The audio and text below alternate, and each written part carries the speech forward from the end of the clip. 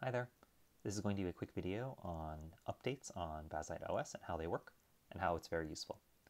So here I am on the Bazzite website, and if we scroll down to this one section here, there's a section called Fearless Updates, and you might be wondering, what does this even mean, right?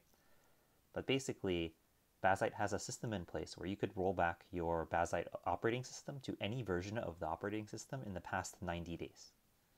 So if you ever run into an issue, an OS update causes a problem, you'd always go back to your previous version of the operating system or any version of the operating system from the past 90 days and it'll replicate it like exactly.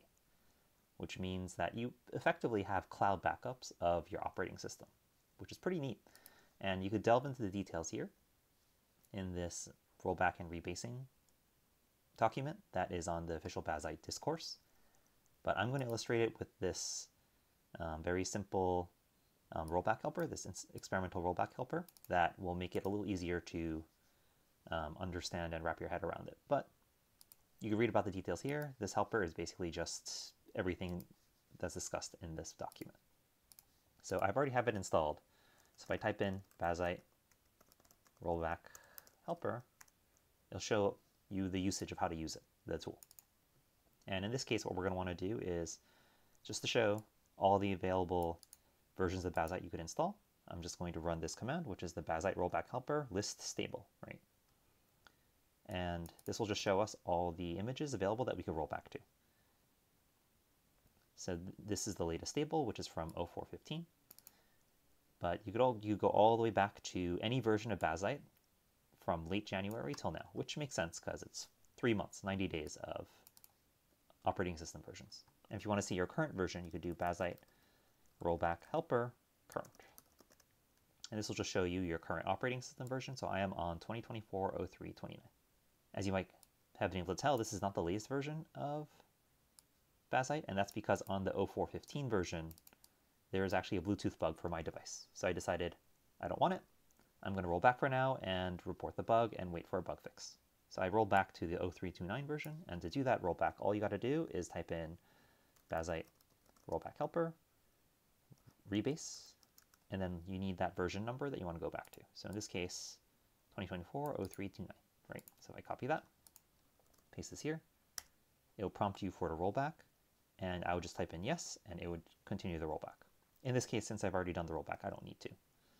But one thing you should be aware of is that if you are on, let's say, the Bazzite deck GNOME image or the Bazzite deck ally image, you need to, instead of putting in just the version number, you need to put in the version number, but before it, you need to put the image type as well. So I do Bazzite deck, let's say Bazzite deck gnome. If I did this, it would prompt you on if you want to rebase to that version of, of Bazzite. In my case, I don't, but depending on the device, you might be using a different image, so just be aware that you might need to manually set that. Now let's say later on, um, the bug got fixed and you no longer need to be on that old version like I am right now. Then all I would need to do is take that same command, whether it be, you know, Bazzite gnome or whatever it might be, and that version number, just change it back to stable.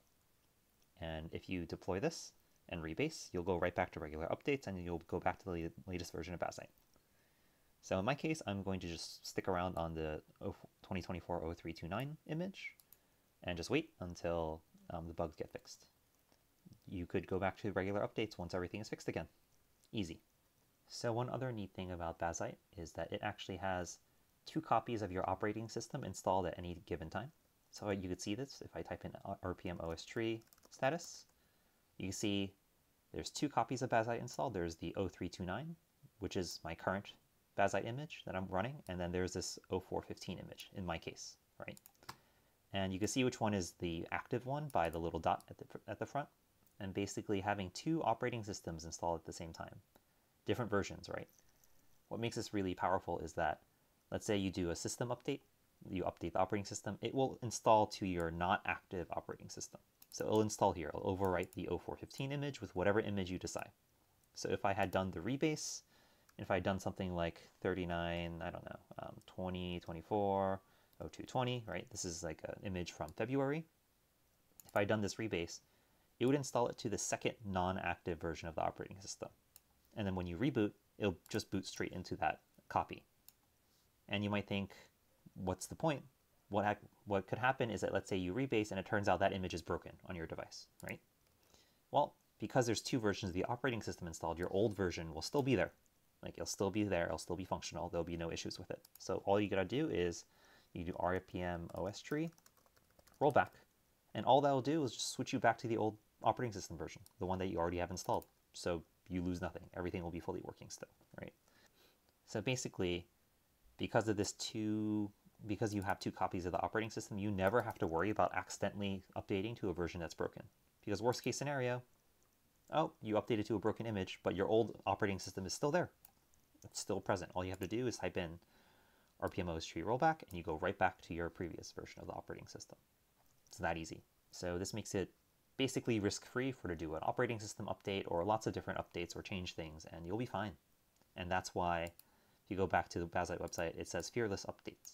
The idea is that you never have to worry about an operating system update messing something up because worst case scenario, your old version of the OS will always be there waiting for you to go back.